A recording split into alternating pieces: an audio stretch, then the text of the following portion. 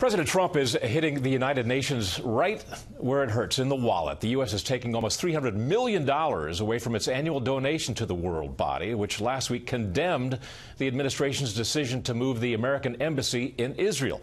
Correspondent David Lee Miller has details tonight from New York.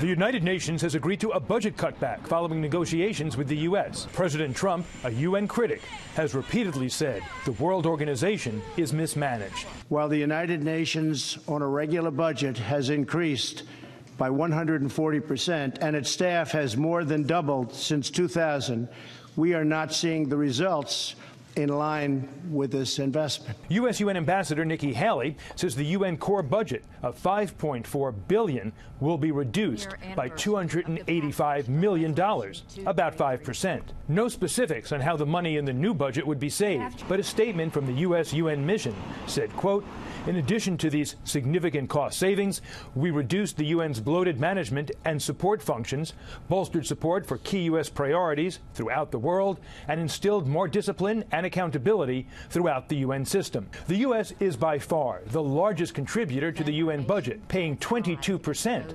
$610 million this year. That's more than double the next largest contributor, Japan, followed by China, Germany, and France. 31 of the poorest member states pay one one hundredth of a percent, about $28,000 a year. The budget cutting announcement follows a vote in the UN General Assembly rejecting President Trump's decision to recognize Jerusalem as Israel's capital. Ambassador Haley underscored the lopsided contributions following the UN General Assembly vote against the U.S. When we make generous contributions to the UN, we also have a legitimate expectation that our goodwill is recognized and respected. When a nation is singled out for attack in this organization, that nation is disrespected.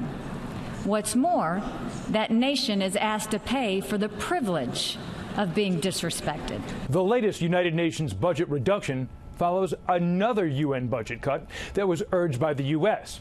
The UN peacekeeping mission, which has separate funding, slashed its $8 billion budget by $600 million. Washington still picks up the largest portion of the peacekeeping tab of $2 billion a year. Doug? David Lee Miller in New York tonight.